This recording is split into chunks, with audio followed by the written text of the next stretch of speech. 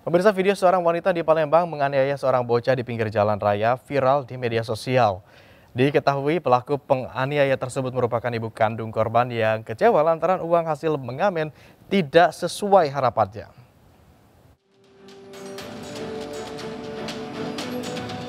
Setelah sempat viral di media sosial atas aksi penganiayaan yang dialami seorang bocah laki-laki berinisial D yang masih berusia 6 tahun terjadi di Jalan Sudirman, kawasan Simpang 4, Rumah Sakit Caritas Palembang, Polisi Unit Perlindungan Perempuan dan Anak Polrestabes Palembang langsung menangkap pelaku. Oh, yang tak lain adalah ibu kandung korban sendiri. Pelaku diringkus di rumahnya di kawasan Jalan Gubernur H. Bastari, Lorong Harapan Jaya, Kelurahan Sila Beranti, Kecamatan Jakabaring, Palembang. Dari hasil pemeriksaan polisi, motif dari penganiayaan lantaran pelaku kesal dengan korban yang tidak mendapatkan uang hasil megabet atau megabis sesuai target pelaku sebesar Rp300.000. Pelaku sendiri sudah satu tahun terakhir mempekerjakan anaknya menjadi pegabis dan menargetkan korban harus menghasilkan uang.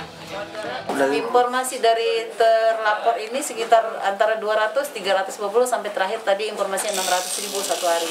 Itu kalau, kalau biayanya nggak sampai dari situ baru si pelaku ini menganiaya si korban bu ya? Baru si anak dipukuli. Kalau si anak uh, setelah keliling tidak mendapatkan uang.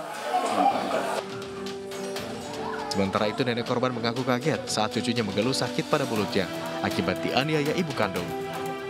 Diduga sang ibu tega menganiaya anaknya lantaran beban hidup sejak ditinggal sang suami. Dia sejak balik dari Jambi dia stres. Oh stres. Anaknya ikut di sana di panti. Di panti anaknya. Ini akibat ulahnya pelaku terancam Undang-Undang Perlindungan Anak dengan ancaman kurungan 10 tahun penjara. Dari Palembang, Sumatera Selatan, Guntur Ajus melaporkan.